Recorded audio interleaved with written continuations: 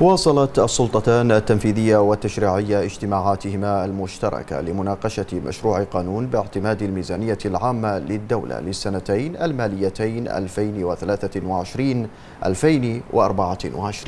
ورئيس الاجتماع من جانب مجلس النواب معالي السيد أحمد بن سلمان المسلم رئيس مجلس النواب. ومن جانب مجلس الشورى معالي السيد علي بن صالح الصالح رئيس مجلس الشورى. فيما رئيس الاجتماع من جانب الحكومة معالي الشيخ سلمان بن خليفة آل خليفة وزير المالية والاقتصاد الوطني.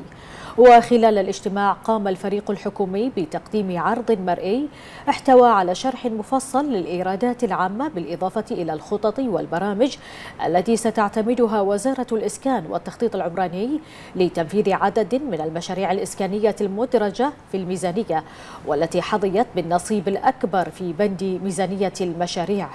وتم استعراض خدمات التمويلات الإسكانية التي تقدمها الوزارة كما تم التأكيد خلال العرض على أهمية استدامة تقديم الخدمات الإسكانية للمواطنين بأقصى درجة من الكفاءة والحفاظ على المكتسبات بما يسهم في تحقيق الاستقرار للأسرة البحرينية.